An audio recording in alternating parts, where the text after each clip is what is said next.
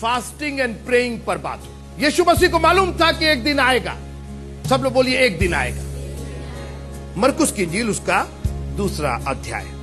उपवास पर ही प्रश्न हो गया आशु भाई। योहन्ना के चेले हाँ, हाँ। और फरीसी उपवास करते थे। ठीक है। सो उन्होंने आकर हाँ। उससे ये कहा कि योहन्ना के चेले और फरीसियों के चेले क्यों उपवास रखते हैं?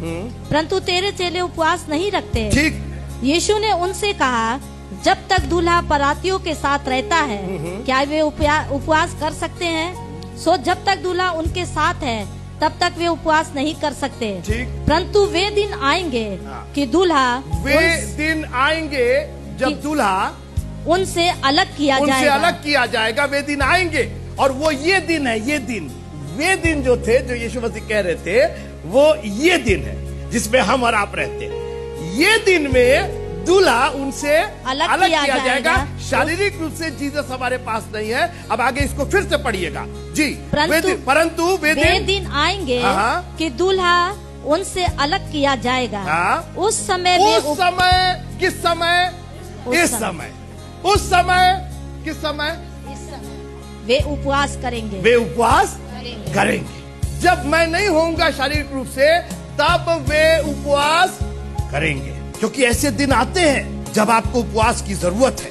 उपवास एक पर्पज से किया जाता है उसका उद्देश्य केवल रीत और रिवाज की वजह से नहीं, मैं क्रिश्चियन उपवास की बात कर रहा हूँ, मैं मसीह उपवास की बात कर रहा हूँ। उस ताकत के लिए, उस मिनिस्ट्री के लिए 40 दिन यीशु मसीह निराहार रहे।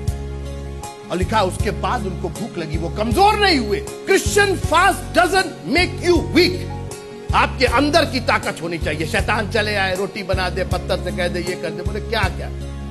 क्या समझ रहे हो? अरे, उपवास करके आ रहे हैं और क्रिश्चियन उपवास करके आ रहे हैं।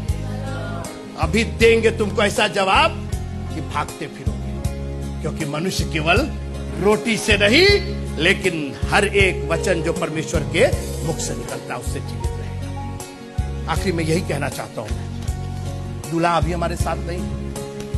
वे दिन आएँगे जब दूल्हा उनसे, उस दिन वे उपवास रखेंगे। प्रभु, तेरा धन्यवाद हो कि आपने पहले से कह दिया कि आज हमको उपवास रखना है। आज तू शरीर रूप से हमारे पास नहीं है, लेकिन आत्मिक रूप से है।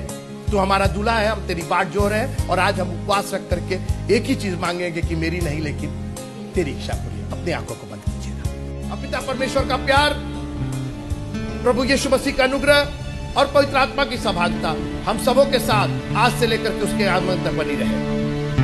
आमीन।